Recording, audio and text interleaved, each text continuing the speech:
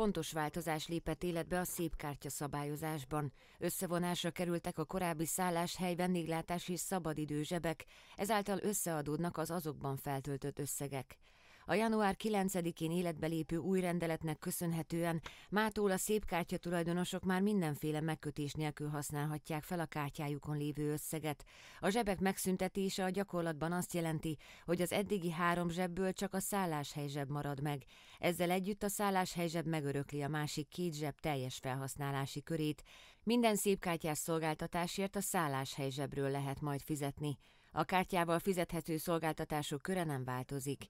Fontos tudni, hogy a tavaly október 15-e előtt a kártyán lévő összeget célszerű az idén május végéig elkölteni, ami ugyanis 2023. május 31-ére megmarad, abból 15%-os egyszeri díjat vonnak le a bankok.